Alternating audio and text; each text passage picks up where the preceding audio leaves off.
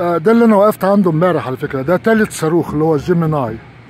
جيميناي ده أول صاروخ كنا قلنا عليه إن هو آه، أول خطوة أمريكية في إنك أنت ممكن في الفضاء تقعد في الفضاء لمدة في ناس قعدوا أسبوعين وممكن تعمل rendezvous rendezvous يعني تناور تناور تلف وتفصل وتطلع ناس تدخل ناس وكده. الكلام ده كان سنة كام؟ سنة 1965 في يونيو 3 5 1960 آه، ده أول مرة بقى يدخلوا فيه ال robots ده جيميناي 6 على فكرة.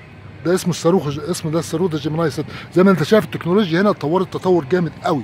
حطوا المكن المكن تحت والمكن هو اللي بقى بيوجه. وبص الصاروخ بقى قد إيه طوله قد إيه. أعتقد أنا صورت امبارح المعلومات بتاعته فهنعدي عليه تاني.